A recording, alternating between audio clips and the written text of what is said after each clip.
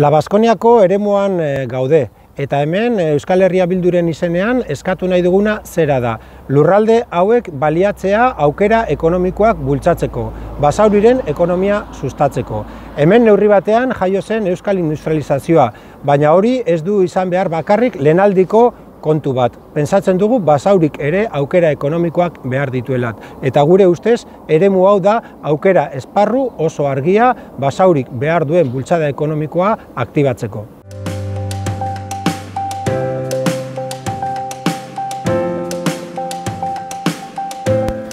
Euskal Herria Bildu dijo que iba a Madrid con un claro propósito, defender la calidad de vida de los ciudadanos y ciudadanas de Euskal Herria. Eso es lo que eh, nos ha llevado todo este tiempo y eso es lo que estamos consiguiendo paso a paso hoy en estos terrenos de la Vasconia.